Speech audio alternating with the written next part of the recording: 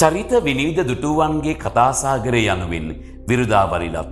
සිංහල පන්සිය පනස් ජාතකපොත වූ කලී.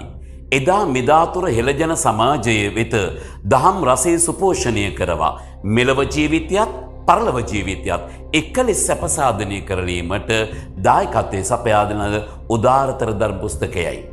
සිංහල පන්සිය පනස් ජාතක පොතේන බොහෝ ජාතකතාවලට බමුණු සංකල්පයන් සම්මිශ්‍රණයවීම හේතුකොටගෙන බමුණු ආකල්පය ආධිපත්තිය ජාතකතා අතරට රිංගායාම හේතුකොටගෙන කාන්තාව අන්ද බාලයි.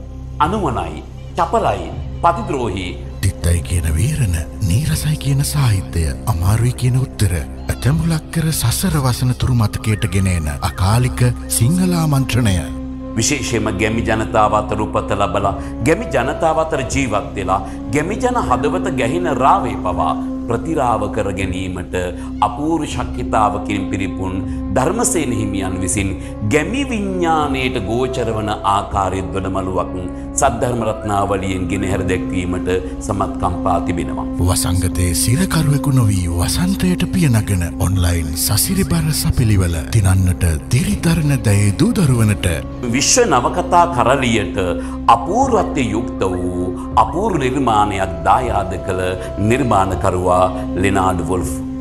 සුදු ඒජන්තවරයෙකු වසයෙන් ස්වදේශීය ජනසමාජය තුළ තත්පරගත කළ ලෙනාඩ් වොල්ෆන්.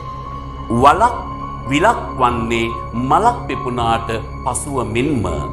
සුදු ඒජන්තවරයා නවකතාවක් රචනා කරමින් නවකතාකරුවෙක් බවට පත්වෙනවා. ද විලේ චින්ද ජංගල් නමින් විශ්ව නවකතාකරලියට පොදදින ලද නවකතාව දේශීය නවකතාකරලිය සිඹගන්නේ බැද්දේගම නමින්. නිර්මාණශීලී ආකර්ශණශීලී විචාරශීලී අරුත්බර රසබර සිංහල ඉගෙනුමකට ජීවිතයේ අමතක නොවන තීරණයකට නම ලිපිනය වටසප් අංකය බිඳුවයි හතයි එකයි අටසිය හතලිස් නමයයි පනස් දෙකයි අනු පහට වටසැප් කරන්න. ලේකක දේශක භාෂා හා සාහිත්‍ය විචාරක අභය ජයකොඩී.